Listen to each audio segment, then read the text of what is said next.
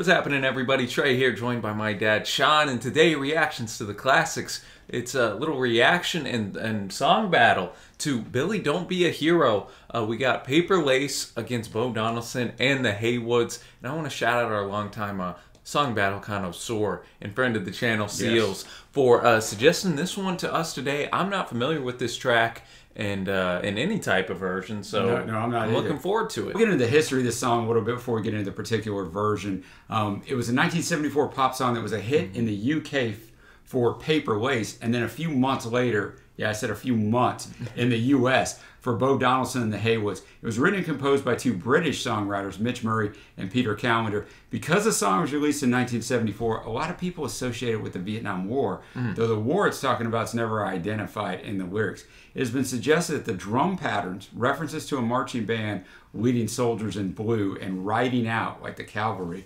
refer to the American Civil War. For mm. one of the band's performances on Top of the Pops, they wore Union style uniforms. That probably tells you. Interesting. So, kind of the story is a young woman is distraught that her fiance chooses to enlist with army recruiters passing through the town, causing her to implore him Billy, don't be a hero. Don't be a fool with your life. Don't be a hero. Come back and make me your wife. As he started to go, he said, she said, Billy, keep your head low. Billy, don't be a hero. Come back to me. And it goes on to describe how he's killed in action in a uh, pitched battle after volunteering to ride out and seek reinforcements. In the end, the woman throws away uh, the official letter notifying her of his heroic death. Paper Laces version, which as you can see is the one we're going to start with, uh, reached one in the UK, Australia, where it spent eight weeks at the top spot in Australia. That was crazy, man. Dang.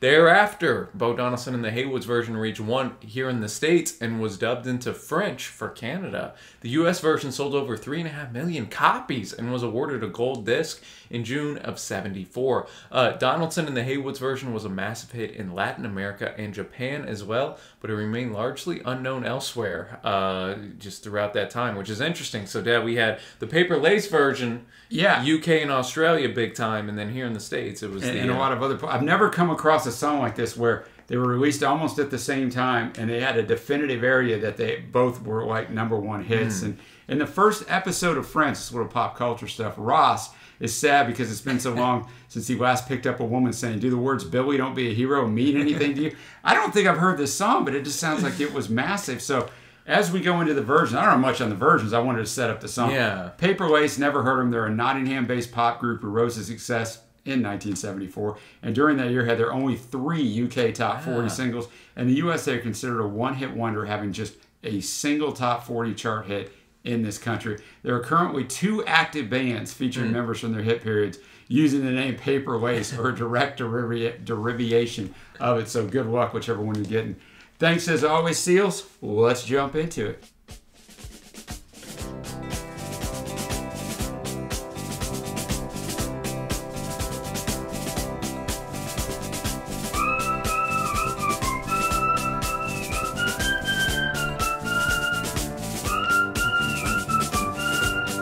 Ready to go out to war myself after hearing this. Man, this is pretty legit.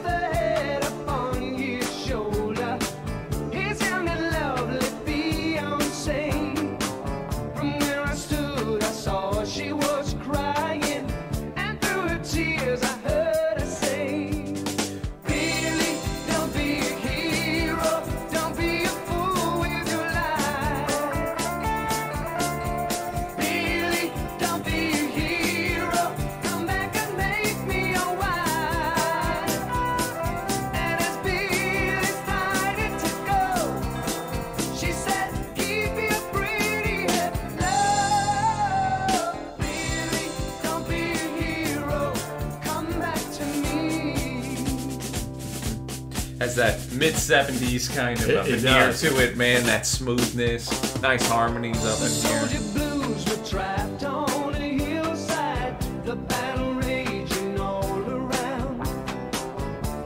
fiance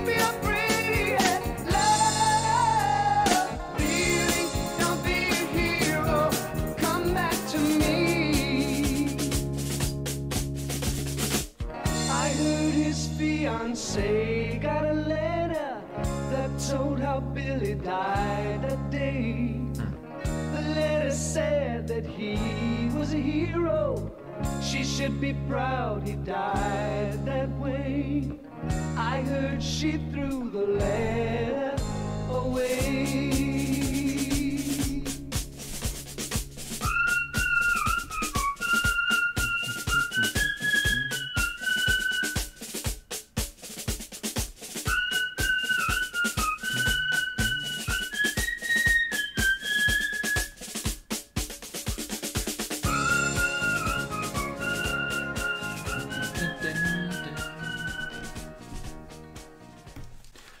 Right, Billy, don't be a hero. Bringing it. Were you familiar with this song? Not at all. Going? Yeah, Not- not I, at I wasn't either. and I don't really have anything to say about it. I mean, it was it was good. You know, you could kind of tell it was a, a UK version. You know, by, by the sound, by Mm-hmm.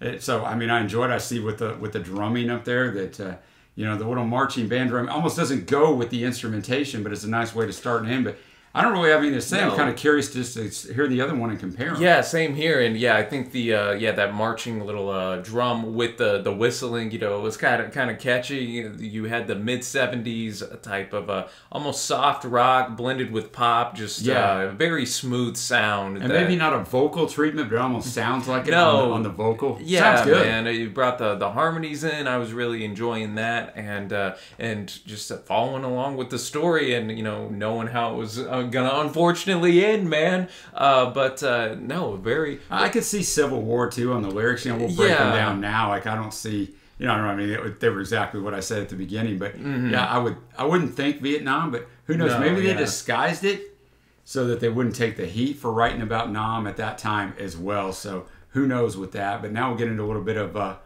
Bo Donaldson and the Heywoods, American pop music group, known mainly for their 70s hit singles Billy Don't Be a Hero and Who Do You Think You Are? They were formed in Cincinnati, so in, in Seals' stomping Oh, ground. there we go. In 1965 by their leader Robert Walter Bo Donaldson. But I found Trey that he was their keyboard player, Interesting. not their lead vocalist. They were first discovered while touring with the Osmonds. Hmm. It doesn't get any more um, straight arrow than that in the early 70s, and signed with Family Productions. Released their first single in 72, so this wouldn't have been until 74 when they really hit it big. Oh, cool. Faster. Yeah, you can tell right off the gate.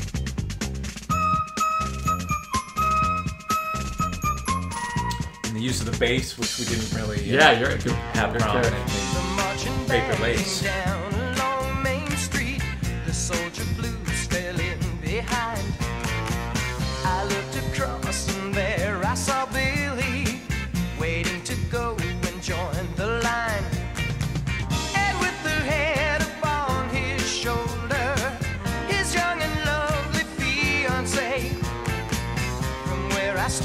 I saw she was crying, and through her tears, I heard her say, This chorus kind of sound like. Billy, don't be a hero, don't be a fool with your life. Billy, don't be a hero, come back and make me your wife. And Bo Donaldson making his presence felt. Yes. she said, Billy, Got to.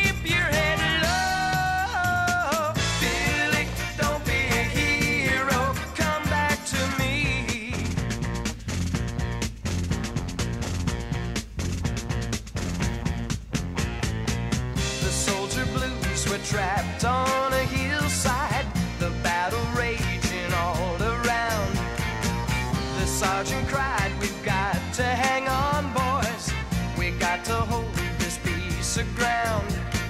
I need a volunteer to ride up and bring us back some Sounds little accordion action, possibly faintly in the background.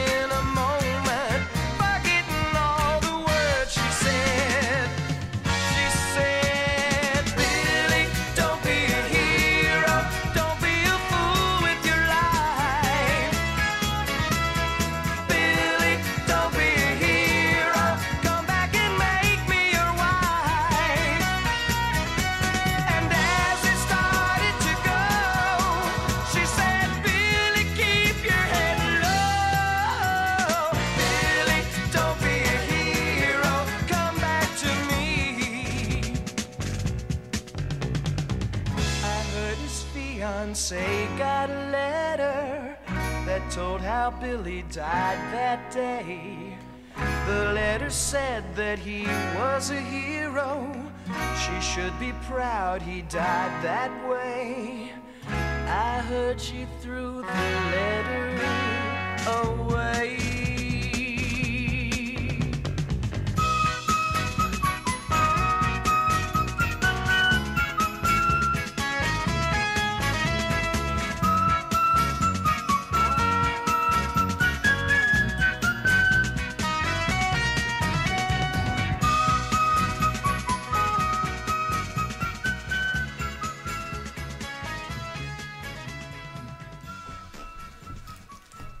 All right, Bo Donaldson and the Heywoods bringing it. Dad, what you think of this?